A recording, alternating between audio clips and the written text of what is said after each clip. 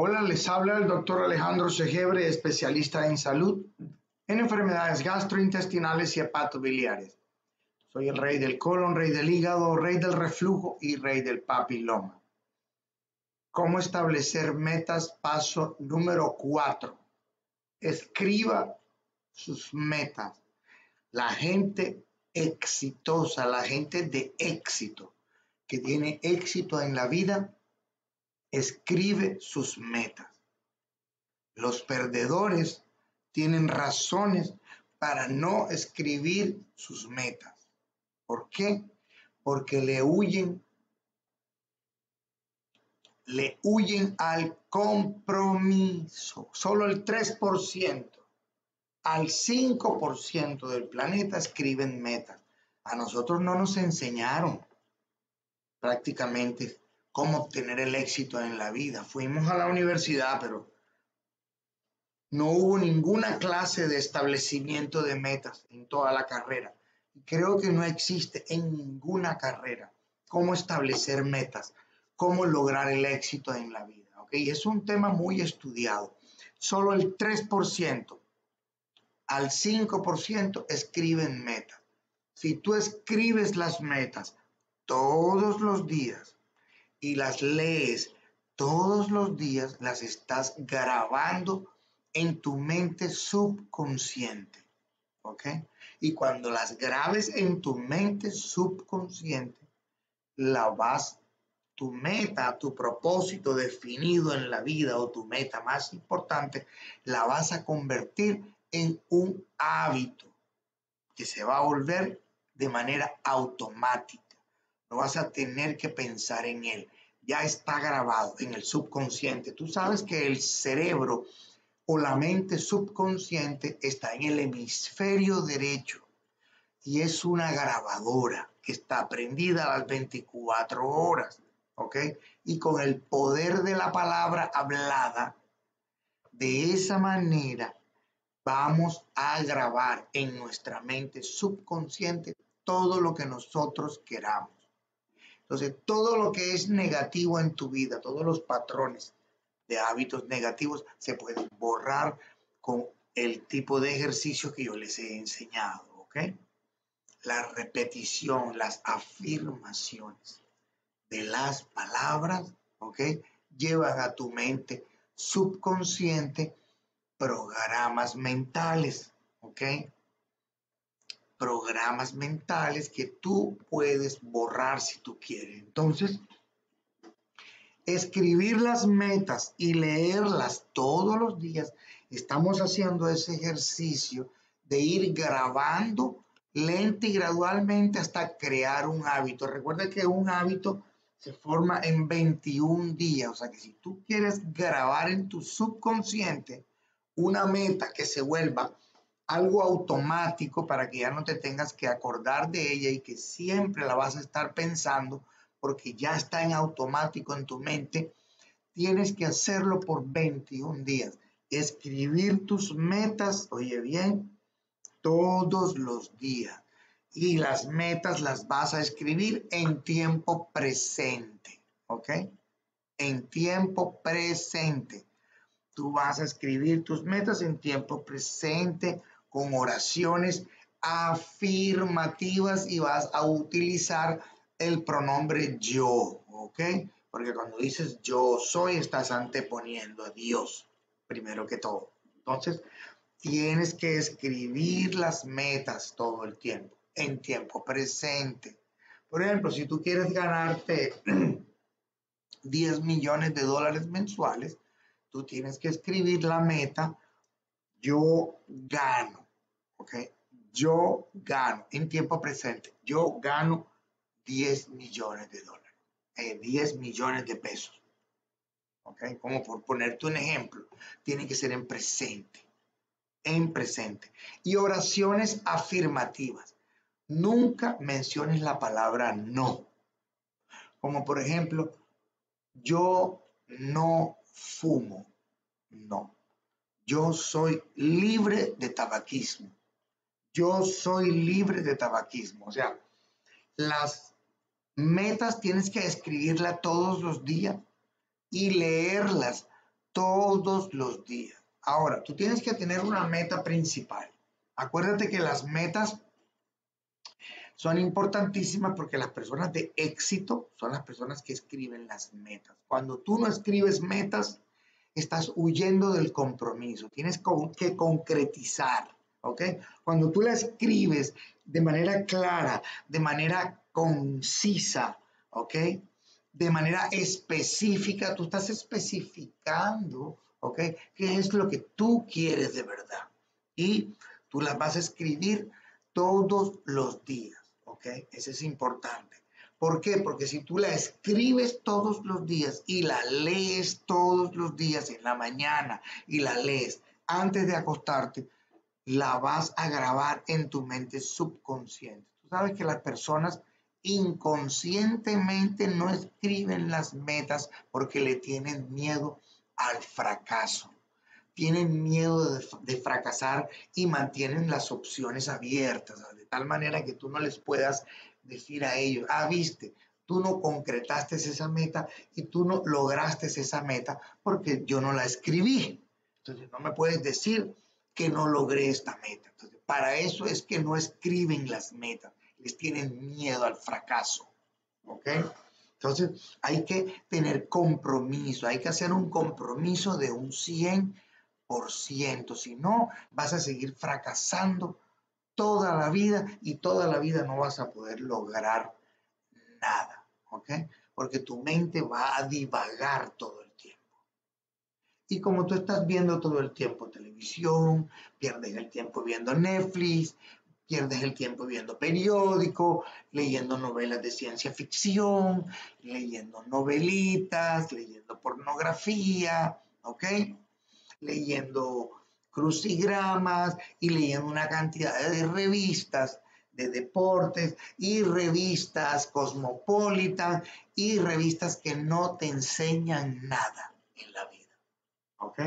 Y tú sabes que para tú poder lograr una meta, bien, bien, tienes que trabajar en ti mismo. Eso es lo primero que tú tienes que hacer, desarrollar tu persona primero que todo. Si tienes que estudiar, si tienes que hacer seminarios, si tienes que ponerte a leer todos los días, si tienes que ir a hablar con gente profesional para que te ayuden, gente que tiene el negocio que tú quieres, que tú quieres desarrollar, para que te enseñen, para que te den ideas, ¿ok? De cómo ellos lo lograron. O buscar libros. Si, si, si es el caso de que quieres vender propiedades, por ejemplo, tienes que comprar libros de cómo vender, ¿verdad? Entonces, es una cantidad de pasos que tú necesitas hacer para cuando tú escribes una meta, oye bien, eso es un ejercicio que yo les voy a enseñar más adelante en un video, pero cuando tú escribes una meta, o sea, un propósito definido en la vida, ponte el caso que tú escribes en una hoja de papel 10 metas. Eh, estas 10 metas las quiero, las quiero conseguir en un año, ¿ok? Listo es imposible conseguir 10 metas en un año. Entonces, lo que tienen que hacer es, de las 10 metas, ¿cuál es la más importante para realizar y para lograrla de primero, inmediatamente? Y tú dices, bueno, es esta, ¿ok? Ponle una fecha límite a la meta. Por la quiero lograr en un año. Y después escríbela, saca esa meta aparte y escríbela en otra hoja y cuando escribas esa meta, vas a, eh, vas a hacer un ejercicio que se llama lluvia de ideas. Vas a hacerte una pregunta. Vas a hacerte 20 preguntas sobre esa meta. ¿Cómo puedo lograr esta meta? ¿Qué tengo que hacer para lograr esta meta? ¿Qué tengo que hacer? ¿Con quién tengo que hablar? ¿A quién tengo que acudir? ¿Qué tengo que hacer? Si tengo que leer, si tengo que estudiar, si tengo que invertir. O sea, tú tienes que hacer un plan, unos pasos y tomar acción y comenzar. Pero tienes que tener una lista de pasos que son una serie de preguntas que se llama la lluvia de ideas, ¿ok? Sobre el gran propósito definido en la vida y así las demás metas se van a ir desarrollando lenta y gradualmente, ¿ok? Así que es importante escribir las metas. Utiliza lenguajes vívidos. Por ejemplo, eh, no hagas una meta, por ejemplo, quiero ser feliz. Eso es una meta muy difusa. Ahora, quiero una relación feliz. Ah, eso es diferente. Quiero ser rico. ¿Rico en qué?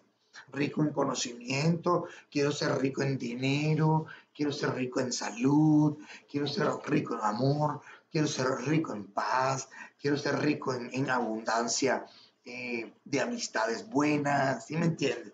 Se tiene que ser algo específico. La meta tiene que ser específica, tiene que ser escrita claramente, tiene que ser concisa, tienes que hacerla concreta, concretizar tu meta, ¿ok? Y utiliza palabras emocionales lo más vívido posible, algo que se muestre como si fuera de tu propia vida, de tu propia experiencia. Eso es lo que se llama un lenguaje vívido. Un lenguaje vívido significa, por ejemplo, yo, eh, yo soy saludable, yo soy excitante, yo soy amoroso, yo soy amistoso, yo soy generoso, yo soy responsable. Esa es una de las cosas que tú necesitas para lograr una meta ganarte la autoconfianza. Para poder ganarte la autoconfianza en ti, en ti mismo, lo primero que tienes que hacer es yo soy responsable de mi propia vida. Yo estoy en control de mi propia vida y dejar de estar culpando a la situación, al clima, a la familia, a los amigos, ¿ok? A cualquier situación. Dejar de estar culpando a los demás y hacerte responsable de tus actos, de tus acciones y tener control propio de tu vida, utilizar la ley del control, ¿ok?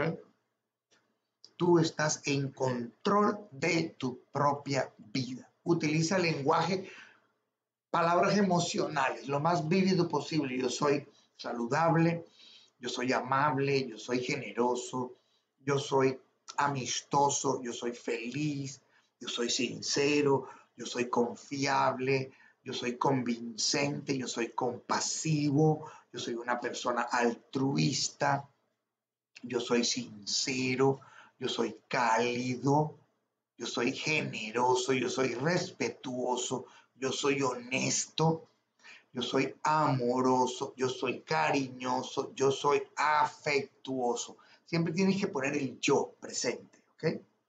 El, pronombre yo, yo soy, ¿ok? En presente.